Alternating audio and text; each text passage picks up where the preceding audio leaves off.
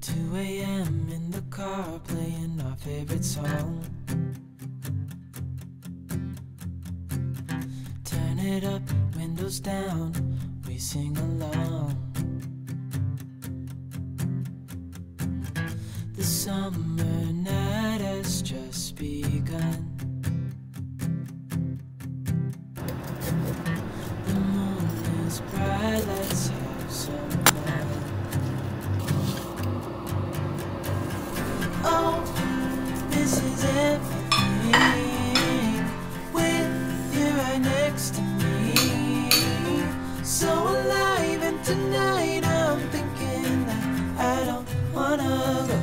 Bom dia, vlog. Começando hoje um vlog na segunda-feira de uma forma diferente. Já fiz o meu café.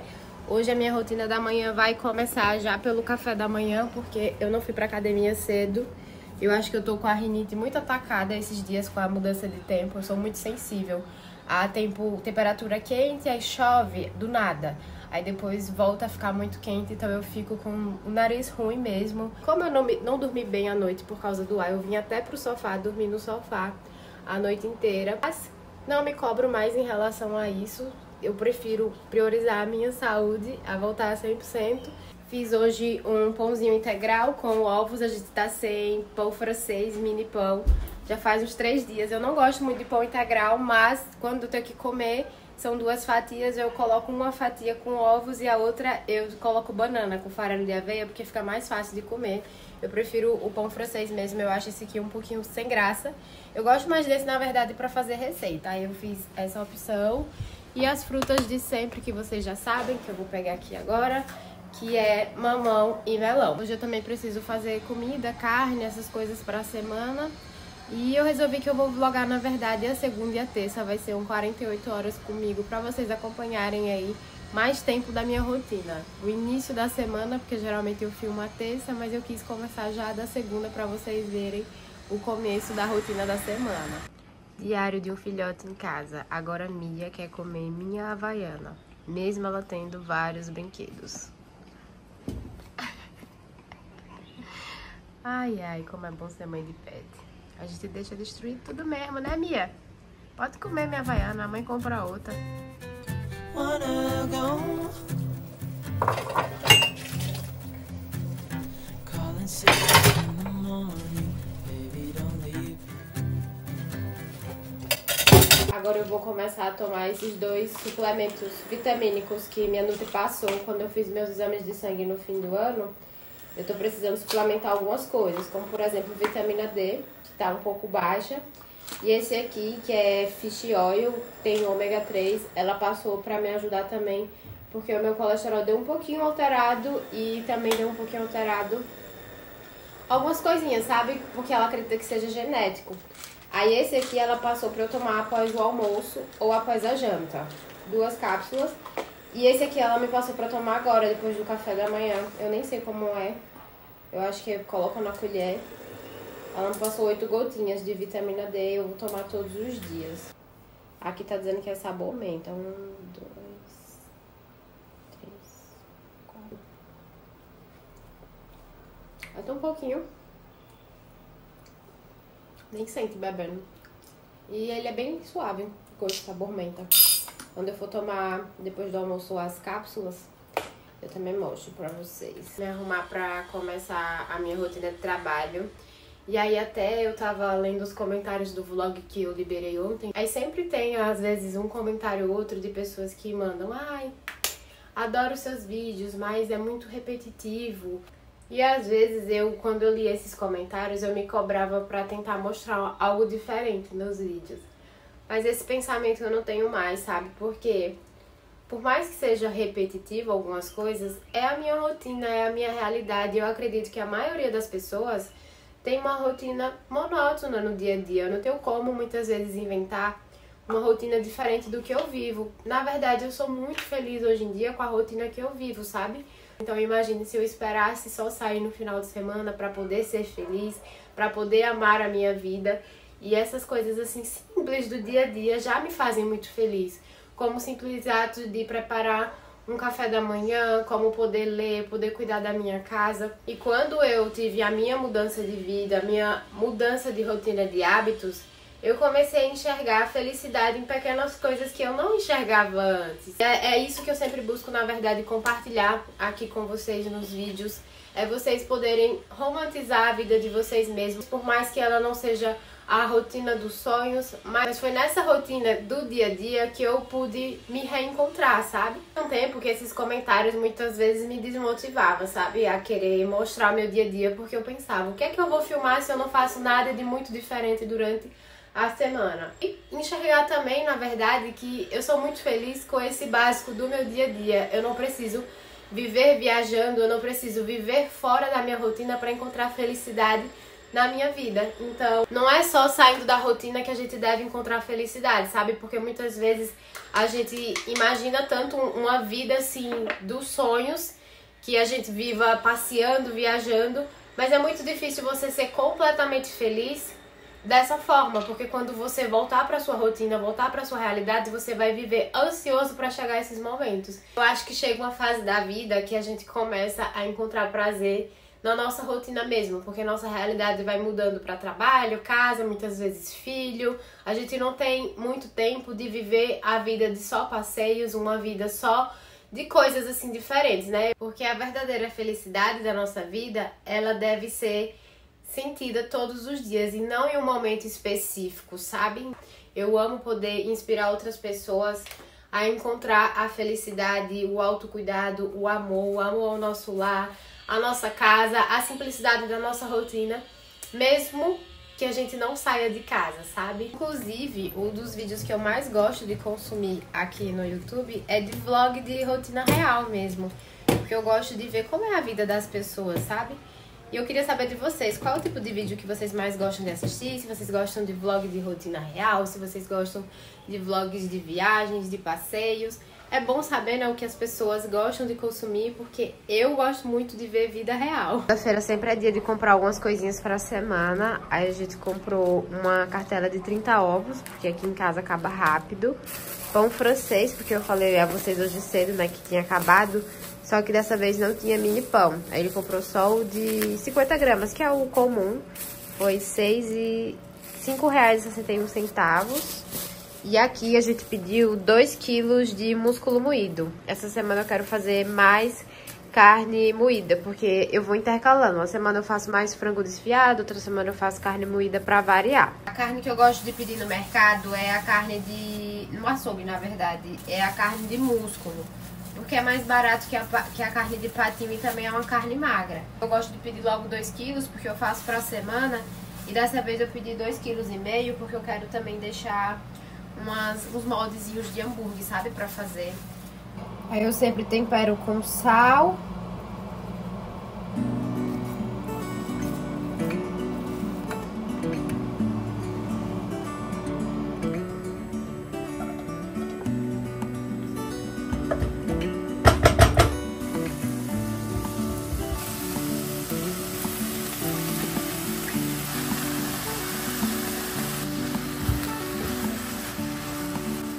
Minha panela ficou bem pequena para a quantidade de carne que eu coloquei, mas a outra tá com a carne ali descongelando. E a única que eu tenho, maiorzinha além daquela, é essa. Para fazer a carne de hambúrguer, eu pego uma parte dessa mesma carne de músculo, pode ser patinho também. E aí eu peguei, sabe uma vasilhazinha dessas de alumínio, qualquer uma que seja um formato pequeno e arredondado, e eu faço a carne de hambúrguer gourmet. Eu peso aqui na balança a quantidade, a minha é de afrio, já tá temperada, aqui eu coloquei sal, páprica, chimichurri e um pouquinho de pimenta do reino. Já congelo temperada. E aí aqui eu vou pesar pra mim 120 gramas da carne pro hambúrguer. E pra Freu eu peso 180 gramas, né? Porque ele gosta do hambúrguer mais grosso. E depois eu embalo nesse saquinho, sabe? Esses saquinhos que eu coloco as minhas coisas da feira. Eu vou mostrar a vocês como é fácil. E é muito bom, sabe? Pra você comer um hambúrguer saudável, é só colocar carne, queijo mussarela, alface tomate. Inclusive, esse hambúrguer tem na minha dieta. Pra variar, assim, quando você quiser comer um hamburguinho no meio da semana ou então na sexta-feira, sem sair da dieta. Eu sempre fazia esses hambúrguerzinhos. E toda vez que eu comprar carne, eu gosto de fazer pra deixar congelado. Eu gosto de dar uma amassadinha assim com a colher, porque ela já fica no formato. Agora é só desenformar. Eu passo a faca aqui ao redor e já sai inteirinho, sabe? O formato do hambúrguer.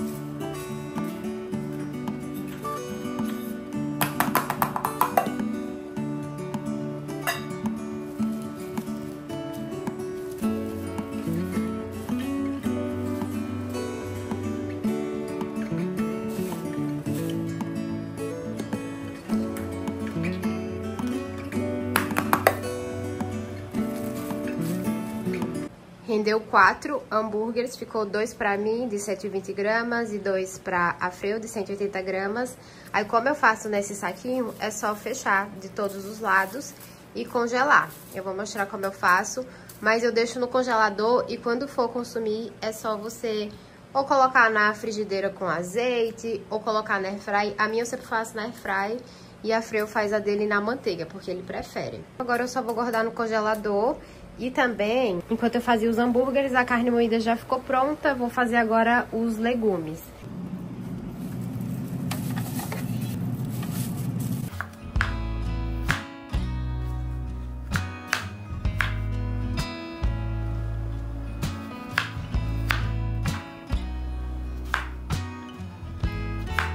Pra cozinhar aqui no vapor, eu coloquei cenoura, abobrinha e chuchu. Eu vou colocar agora pra ligar o fogo, né, cozinhar. E aí eu tô pensando em fazer purê de batata e deixar o frango temperado.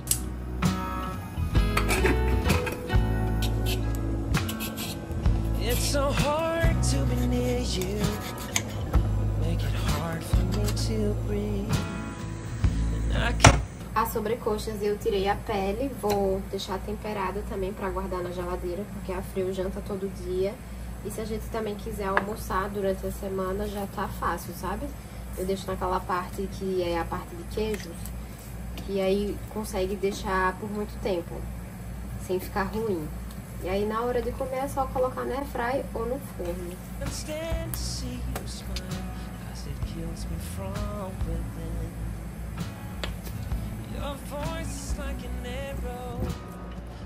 Your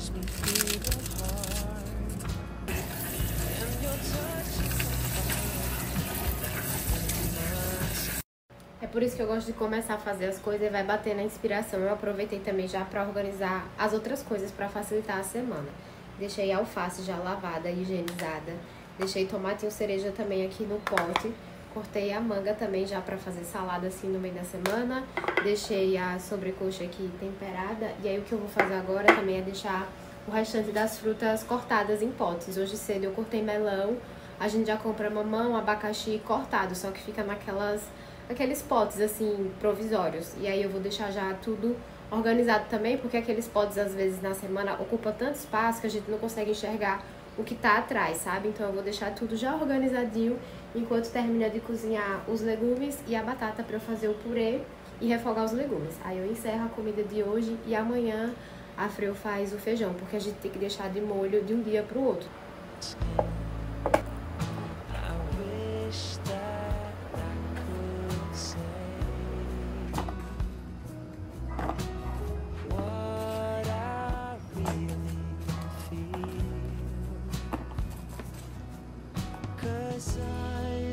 batata já cozinhou, vou fazer o purê. Eu gosto de colocar só um pouquinho de leite desnatado e sal.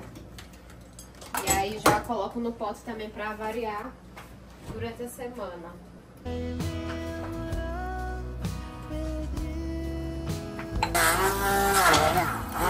so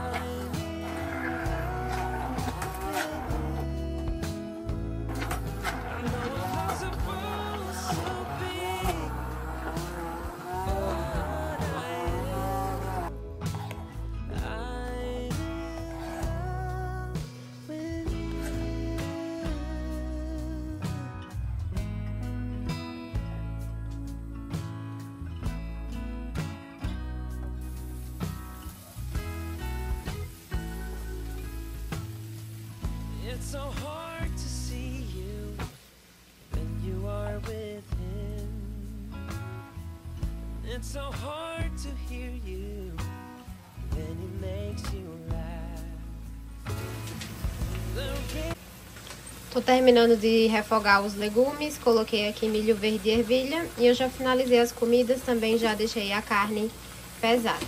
Eu disse que eu acabei me empolgando e já deixei tudo organizado para a semana, cortei a manga, deixei a alface já higienizada, tomatinho cereja, mamão cortado para a semana, abacaxi, sobrecoxa temperada também, porque na hora a gente faz, legumes, purê de batata e aqui a carne moída que eu fiz.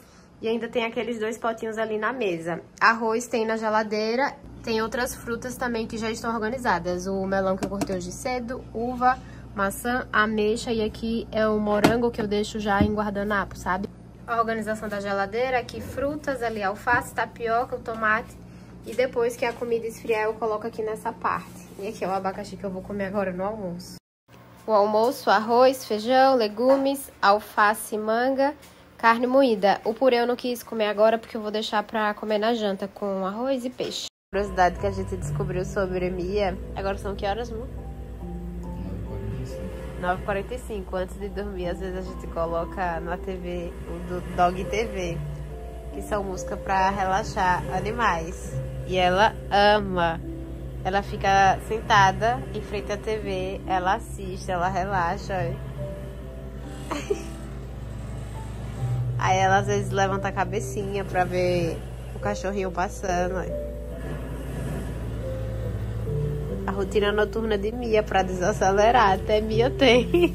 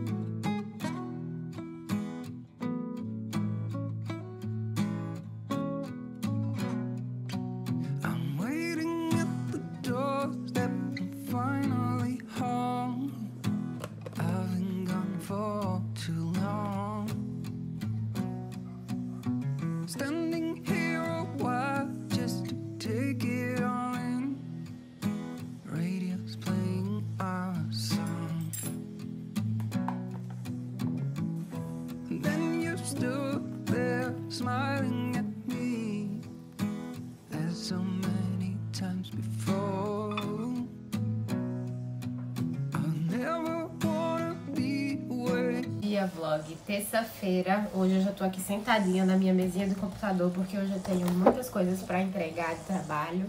Preciso também fazer a minha planilha de financeiro porque hoje é dia 30 do mês e eu gosto de fazer sempre antes de começar o próximo mês. Quero mostrar depois a vocês essa planilha também. Tenho edições para fazer e a academia hoje também ficou pro horário do almoço, porque logo cedo a Freio precisou do carro para fazer audiência e a gente decidiu que ia no horário de almoço.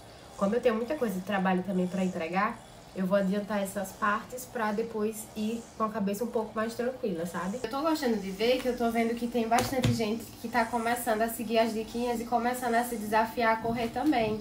E é algo muito legal porque a gente vai se ajudando nesse processo de evolução. E eu também vou compartilhando como é que tem sido, né, nesses meus dias de como eu tenho feito, inclusive, é algo até que eu quero anotar a cada mês aqui no meu planner como é que foi minha evolução, como eu comecei o mês, quanto eu estava correndo no início do mês, para no final do mês eu ter assim um comparativo do quanto eu evoluí. Isso serve para qualquer hábito, sabe? Se você começar na sua vida saudável, quantos dias na semana você conseguiu seguir direitinho o plano, aí você faz uma anotação no seu planner ou no seu bloco de notas, quantos dias você conseguiu ler na semana, quantos dias você conseguiu fazer cardio, correr, qual seja o seu novo desafio, é bom pra sempre ter essa visão no final do mês, como eu conversei com vocês no último vídeo, sabe? Porque dessa forma a gente sempre consegue enxergar aquilo que às vezes no dia a dia a gente não enxerga, porque se a gente for parar pra ver o que a gente faz no dia a dia, muitas vezes a gente não tem essa noção de comemorar essas pequenas conquistas que a gente teve ao longo do mês. Do quanto você evoluiu, do quanto você conseguiu dormir cedo, você conseguiu beber mais água, conseguiu se manter constante na academia. É muito legal você sempre fazer esse seu comparativo de antes e de agora. Inclusive até nesse meu planner, que é, no dia 30 do mês eu faço o planejamento do mês e faço esse fechamento também de hábitos e como eu fui, sabe? Pra eu ver o que é que eu vou melhorar mais ainda no outro mês. E aqui no meu planner tem até o checkout do mês que ele fala pontos fortes, coisas que melhoraram muito seu mês. Então eu vou falar as coisas que eu consegui assim melhorar e as coisas que, por exemplo, pontos a melhorar. O que é que no próximo mês eu vou ter que trabalhar mais? Então você pode fazer isso também até no caderninho, se você não tiver um plano. Aqui, ó, o que ficou pendente para o próximo mês. Coisas que eu estabeleci como meta e talvez eu não tenha dado tanta importância. Então é sempre bom no final de cada mês, porque hoje é dia 30, você fazer essa visão. Eu vou preencher essas coisas e também eu quero mostrar a vocês a minha planilha de organização financeira.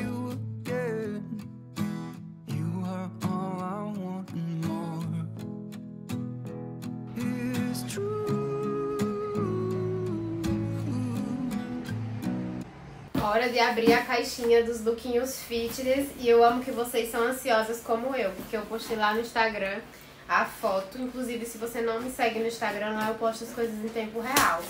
E aí eu postei no elevador buscando a caixinha e vocês abrem, Lele, prova com a gente. Eu falei, não, eu vou provar no vlog. Então eu vou provar com vocês. Eu ainda nem abri. Chegou ontem, no final da tarde. E eu tô deixando pra abrir hoje, ó, de manhã, porque eu queria abrir junto com vocês. E aí eu tô ansiosa, eu já vou inaugurar agora na academia também. Essa calça preta, que é um conjunto, deixa eu achar logo o top dele. Deixa eu ver aqui. Que é lindo demais veio de rosa. Aqui é o outro conjunto, que é colorido. Eu gosto de preto, rosa e coisas coloridas. E o top branco. Esse, na verdade, eu acho que eu vou deixar esse por último. Porque aí eu já vou vestida nele. Porque assim, esse preto, com certeza, eu vou querer usar amanhã na academia. Que amanhã é dia de treinar glúteo. Aí eu já vou deixar pra usar amanhã. Pedi tudo no tamanho M. Essa é a primeira calça, ela tem essa tela aqui do lado. E aí, o único problema é que eu não sei se quando bater na máquina talvez possa arrancar. Eu acho que não, né? Da preta. Será que vai ficar grande? Espero que não. Top dele, que é conjunto. Tem lá também a opção pra você fazer conjunto com short, short ou calça. E aí, aí é o topzinho. Ele tem bojo na frente, forrado. Quem não gosta de bojo, ele vem com a opção de remover o bojo. Eu gosto de top com bojo. Mas na verdade, às vezes eu peço tudo sem bojo, porque sem bojo é mais barato. E aí eu removo o bojo de algum top e coloco nos outros tops, assim, por baixo. Eu faço isso sempre. E aí eu pedi esse com esse pra fazer conjunto. Pedi um top rosa esse top rosa é pra fazer conjunto com calça preta mesmo, sabe? Não foi nenhum assim específico pra fazer conjunto com ele. E aí já o top rosa eu pedi sem bojo. Só tô achando essa forma um pouco maior dessa vez. Mas eu acho que é impressão. Ele é todo cruzado. Esse top branco eu pedi pra usar com a calça preta. Ele também foi sem bojo. A maioria eu pedi sem bojo. Achei ele lindo, inclusive. Ele, na verdade, não é um branco. Ele é tipo um cinza bege. Bege, branco. Não sei se branco gelo. E aí ele tem esse detalhe aqui. E as costas dele é assim. E aí a calça que eu pedi pra usar com ele foi essa aqui. Também tem esse detalhe na lateral. Ó. Tem essa tela aqui e acho que vai ficar lindo, porque é a cozinha do top, sabe? Nos detalhes da calça. Eu acho que esse aqui vai ser o meu conjunto preferido, que é esse colorido. Esse aqui, que é colorido preto com rosa, verde e laranja, ele eu também pedi sem bojo. Ele é forrado. E aí, como ele não vem o recorte do bojo, como eu disse, vocês tiram do outro e colocam por baixo mesmo. Você coloca aqui no peito e o top prende, sabe? Na verdade, essa calça é igual uma calça que eu tenho preta, que eu não tiro ela. Ela é preta com branca. Dessa vez eu pedi uma preta colorida. Eu amo o modelo dessa calça, ela é muito confortável. Primeiro lookinho foi esse, e era pra ter vestido ele por último, né? Pra eu usar ele já, mas acabei me passando. Ficou perfeito, é tamanho M. As formas da DLK geralmente são assim, um pouco menores, então eu gosto de pedir um número a mais do que eu visto. Eu uso o P, então eu peço a calça e o top no tamanho M, pra ficar mais confortável. E aí, aqui do lado, os detalhes, eu amei, inclusive, achei perfeito. O topzinho, achei maravilhoso. Esse modelo eu já sei que é o meu favorito. Ele é divino, amei tudo. Até porque eu já tenho uma calça dessa, né, como eu disse a vocês. E eu acho que ela é muito confortável e veste super bem. Já tô até pensando se eu uso ele hoje ou deixo pra amanhã. Acho que eu vou deixar ele pra amanhã. E atrás, amei. Já comentei aqui embaixo qual vocês estão gostando mais. Qual foi seu modelo preferido. Esse também ficou lindo. Esse eu peguei o bojo do outro top, porque ele não veio com bojo. Aí eu coloquei por baixo mesmo. Mas ficou maravilhoso. A calça tem esses detalhes também. Todas eu peguei com esses detalhes do lado, porque eu acho que fica chique. E esse top não é conjunto, tá? Eu que montei meu próprio conjunto. Esse top tem esses detalhes aqui, que é tipo uma telinha. Ele ficou só um pouquinho folgado aqui do lado em mim, o tamanho M. Ele eu acho que o tamanho P teria ficado mais certinho, mas também sem problema, eu sou zero apegada a esses detalhes. Top rosa, inclusive, eu amei a amarração dele. Ele cruza aqui na frente e cruza aqui assim. Eu acho que, na verdade, esse top dá pra fazer vários tipos de amarração. Dá pra colocar as duas partes pra cima, dá pra inventar. Os dele também cruza e ele é abertinho aqui. Essa parte fica à mostra, as costas. É até bom pra treinar a costa. Estamos indo pagar nosso treino, já que ontem não fomos e nem hoje cedo, né? Tá de férias da academia? Não, só não tô dormindo.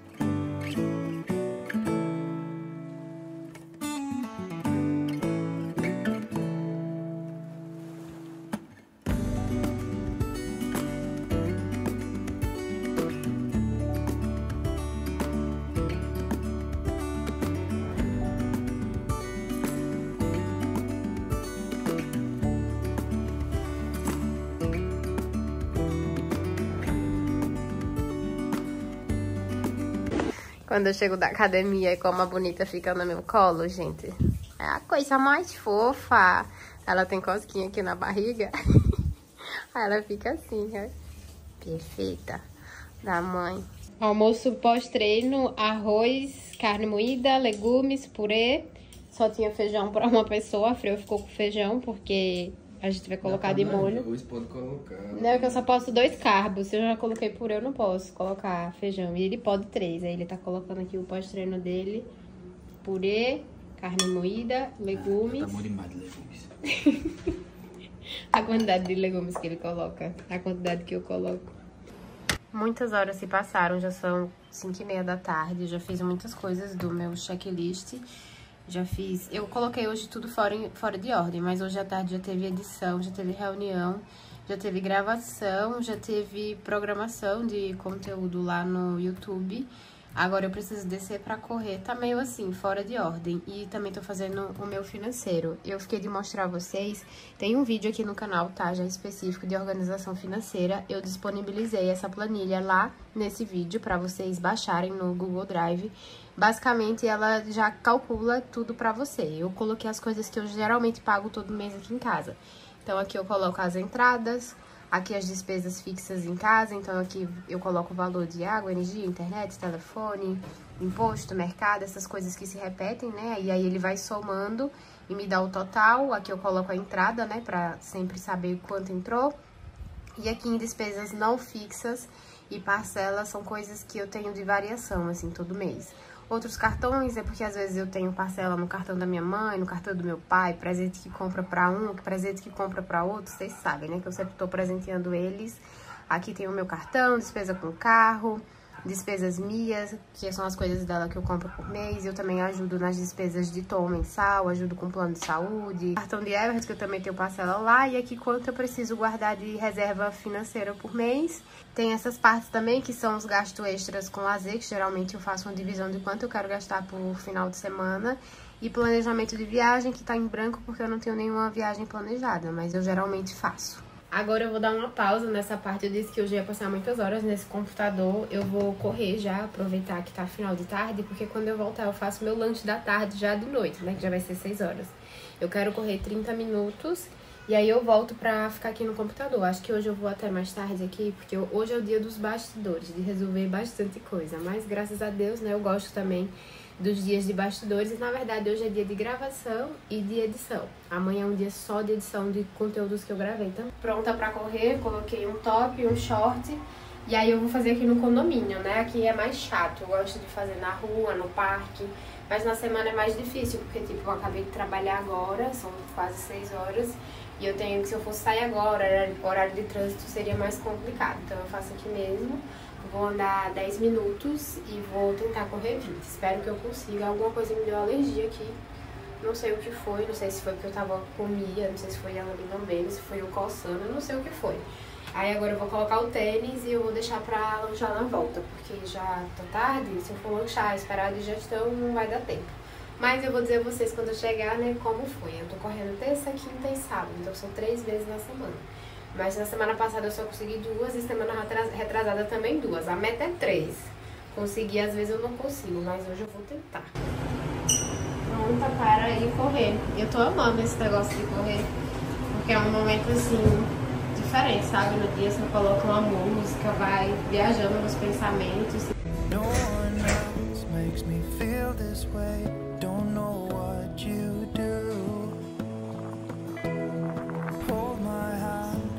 You hold my hand? Look me in the eyes.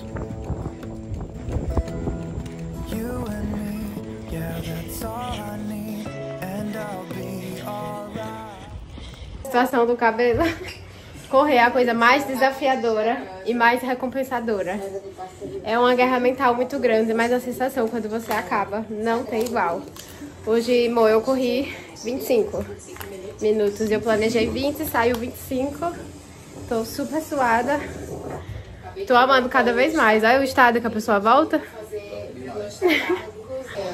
E agora tá chovendo bastante, bastante mesmo, por isso tá...